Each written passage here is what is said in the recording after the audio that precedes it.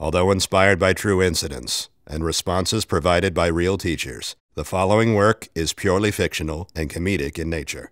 No teachers were harmed in the making of this video.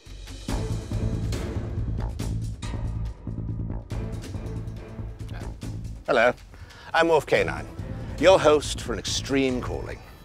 In this intense training program, we have invited people with nothing in common other than their shared calling, an innate yearning to serve others no matter how difficult the task. My job?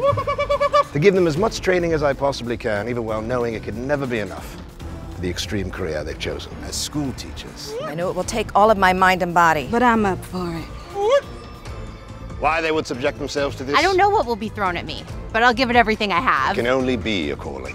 I was born to do this. It's the hardest challenge of their lives. In the next few weeks, big people, small people, in shape people, and not so in shape people will take on the harsh realities that are an everyday part of their extreme career.